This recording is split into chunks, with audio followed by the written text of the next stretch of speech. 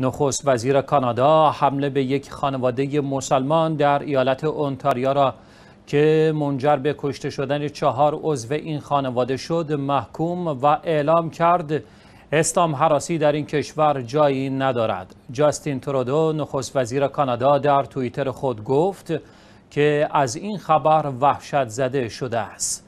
وی افزود اسلام حراسی در هیچ یک از جوامع ما جایی ندارد. این نفرت رزیلانه و حقارت آمیز است و باید متوقف شود.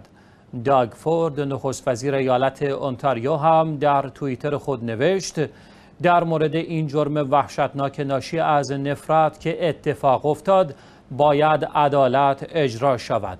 روز دوشنبه گذشته یک مرد 20 ساله با خودروی نیمه سنگین خود به اعضای یک خانواده مسلمان در شهر لندن در 200 کیلومتری جنوب غرب اونتاریو در کانادا حمله کرد و چهار عضو این خانواده را کشت. رئیس پلیس این منطقه اعلام کرد این حادثه از پیش برنامه ریزی شده و بر اساس نفرت مذهبی طراحی شده بود. گفتنیست شهردار منطقه لندن در اونتاریو نیز در اظهاراتی گفت این افراد به قتل رسیدند زیرا مسلمان بودند. بگذارید واضح بگویم این یک کشتار جمعی علیه یک خانواده مسلمان بود که از روی نفرت صورت گرفته است.